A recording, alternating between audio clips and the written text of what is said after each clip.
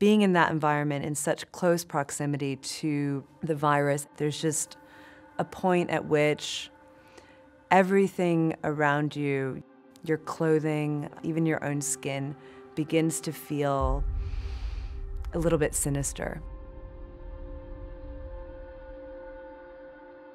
My name is Nicole Sobecki. I'm a photographer, and I was recently on assignment for National Geographic in the Democratic Republic of Congo.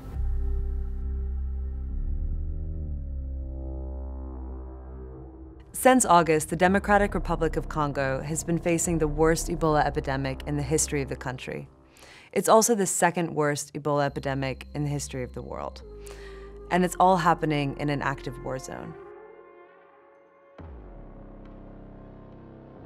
You also have a tremendous amount of distrust from the community that's being treated.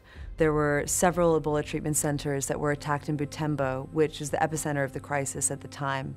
Since then, there have been more attacks, there have been police officers killed, health workers killed, and the reason why people don't trust health workers is for reasons that I find incredibly rational. They don't trust the government because this is a part of the country that has been neglected for decades.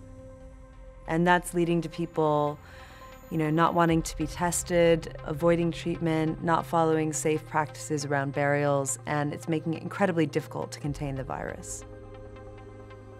I think it took actually being there on the ground to really understand the emotional component of that as well. The fear that anything could infect you is there, and it's not rational, and I know that. It helped me to understand how these falsehoods could lead to really real violence. I want people to care about what's happening and to not see Ebola as something that only happens far, far away in parts of Africa and has no impact on their lives. These are not rural villages in the way that we've seen in other outbreaks. Beni and Butembo are cities of more than a million people. This is a global issue that I think we should all be invested in.